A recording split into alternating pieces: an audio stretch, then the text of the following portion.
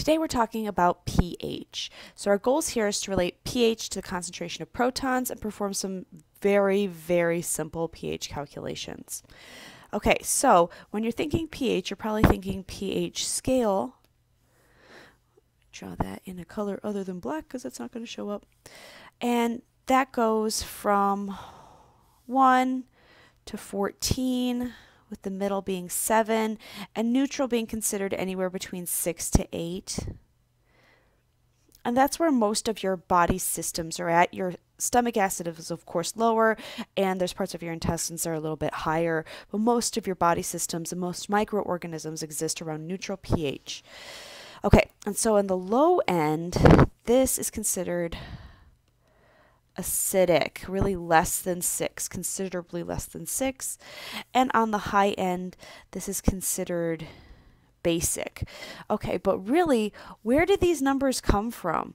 Why 14? What is up with 7? What the heck is 1? What's going on with there?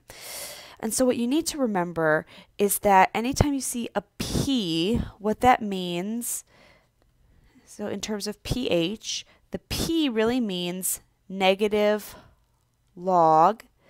And then for the H, that implies the concentration of protons in the solution. So because this is negative, it's really kind of difficult to think about. And because this is log, remember it's base 10. So what that really means is that the difference between pH 1 and pH 2 is a tenfold change in the concentration of protons. So pH 2 has 10 times as many, or sorry, 10 times as few protons as pH 1, right? Because the negative, you got you got to remember the negative, Fiona. Get with it. Okay. So this 10 is a tenfold change for each one change in number here. So between 1 and 14, whoo, that is huge. Okay, so that's what this 10 means right here. So we talked about that. And the negative means that if you have more of these protons, it means a lower pH. So this is the most protons.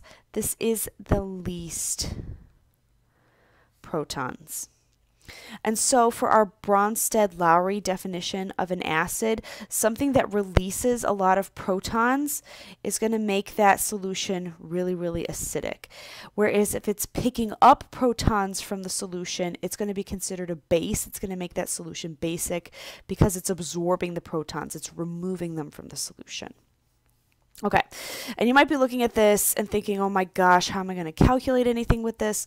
Well, it's really quite easy. So I'm going to make you a little chart of pH and concentration of H plus in molar.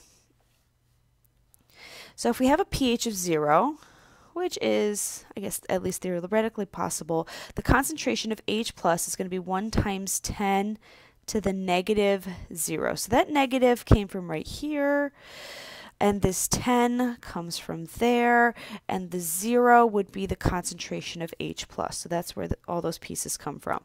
So 10 to the negative 0 gives us a 0 of pH. Okay, that's interesting. How about a pH of 1?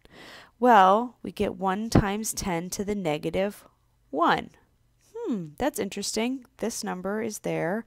This number is there. Okay.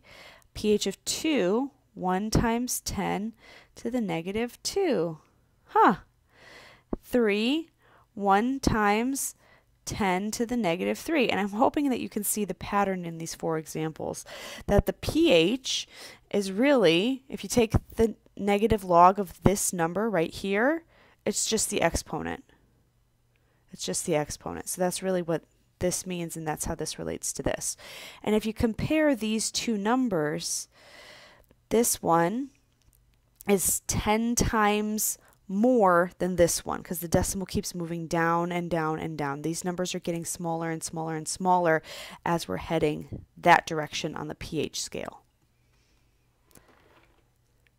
So I hope you find that helpful.